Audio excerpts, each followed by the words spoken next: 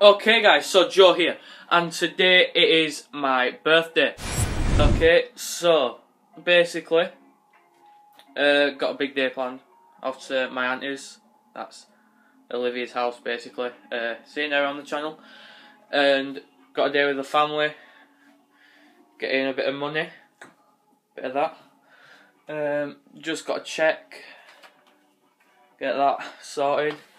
Um, so yeah, this will be um, some sort of this will be put into parts. It's not part one, part two, part three on the channel. It's more of a you know part one of a video. Doesn't make sense. I also got a ball off my mate. So if he's watching this, thanks a lot. Don't think he will because he don't don't do a lot. But yeah, so it's gonna be a good day, and yeah, um, get back to it.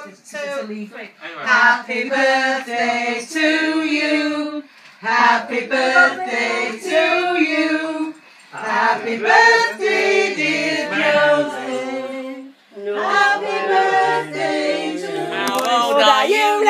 now? Hang on. So I'm having mine recording and his as well. Oh, lovely? Oh, that's How smashing, old are you now? Rugby ball. Lovely. It's actually And American then- football. Well, it's supposed to be a rugby ball. Okay. I'm going to make cappuccinos. Oh, lovely. Okay, guys, so that is my day. Not much to show, just basically the birthday cake. It's the only exciting thing that happened today. And yeah, so not not been a bad day actually, it's been a pretty good day. You know, I've got big piece cake. It's good. Uh, gonna show you the thickness of my wallet after today. Bear with me.